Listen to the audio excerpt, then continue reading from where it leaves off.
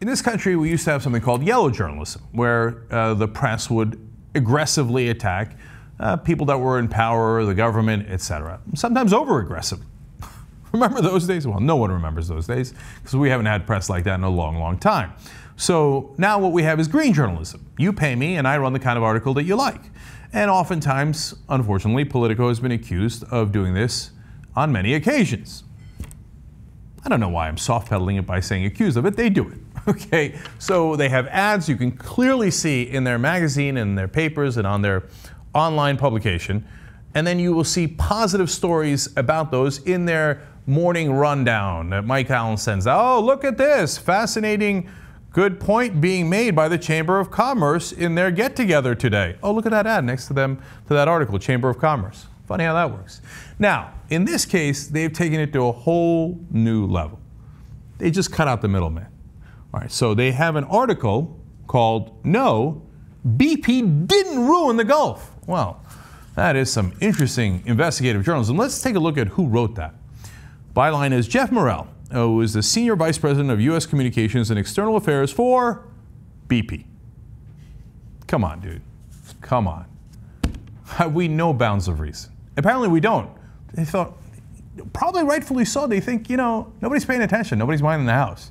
It Doesn't really matter. We're going to do this.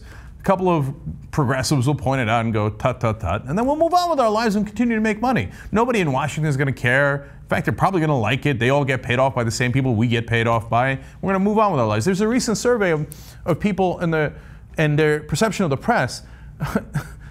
the conservatives have done such a great job at propaganda that most people thought Politico was liberal because oh, it's media, so all the media is liberal. Politico's liberal. they literally have BP's lobbyists writing the articles for them about BP. Mediaite pointed out that this appears to be the only article about the effects of the oil spill and BP many years later. So it's not like it's even balanced. This is their one piece of journalism on the oil spill, brought to you by BP. Ugh, all right. So, well, let's be fair now. Let's go inside the article. Let's go to the first paragraph and see if it's balanced. Okay. Ongoing litigation, uh, Morrell explains, and political wrangling over the Deepwater Horizon accident have generated considerable speculation about the size of the potential financial penalties facing BP, how much money will go to the Gulf Coast states, and how the states will spend the money. Lost in all that is a more fundamental question. What impact did this spill actually have on the Gulf Coast environment? So now that sets up two things. One, of course, is going to answer that question throughout the article by saying, no impact at all, minimal, minimal. Don't worry about it. We're all, it's all good now. Spill, what spill? I don't know what you're talking about. Okay, I'll get to some of the details in a second on that issue. The second thing he's doing here is, everybody's talking about the money. God, you guys are so selfish. Now, BP, of course, spilled all that oil because they cared about the environment. Their, their real concern is the environment, while you guys are all worried about the money. BP doesn't care about money at all. Oh my God, blah, blah, blah about how much will BP pay. Ignore that. Well, wouldn't that be convenient for BP? All right, so uh, tell us about the evidence, Geoff. Um, the evidence to date shows Gulf environment is rebounding and that most of the environmental impact was of short duration and a limited geographic area. Well, golly gee, it turns out BP, who did this spill, thinks that it's a limited geographical area, short duration, no big deal. Don't worry about the move, money. Let's move on.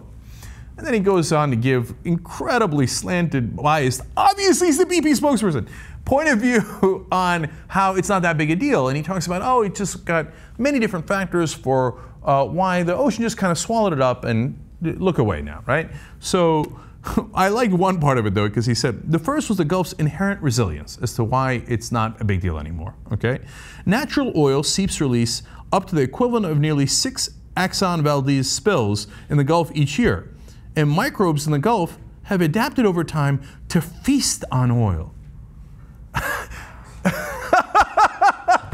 you see, they did the Gulf a favor. They're feasting. All the microbes are like, oh, yummy for my tummy. Oh, thank you, BP. Really appreciate it. What a wonderful poo poo platter you've given us here. okay, well, I didn't know it was going to be this good for the Gulf.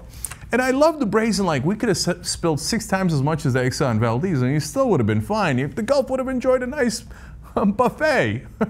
so we could have done worse. Oh, great. We really appreciate that. But look, BP writing this makes perfect sense. I don't begrudge Geoff Morrell doing that. That's his job. That's literally his job, right?